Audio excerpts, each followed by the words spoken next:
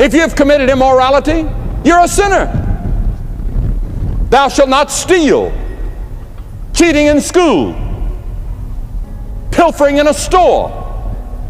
Thou shalt not bear false witness against thy neighbor, lying. Have you ever told a lie? You say, well, Billy, unfortunately, almost all of those I've, I've committed.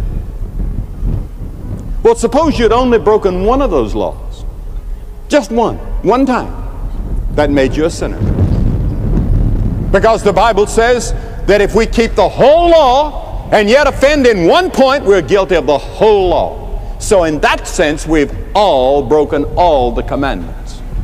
We've sinned against God whatever the color of our skin, whatever our religious affiliation. We are sinners and we need reconciliation, we need justification, we need to be redeemed. And that's why Christ came, and that's why he went to the cross.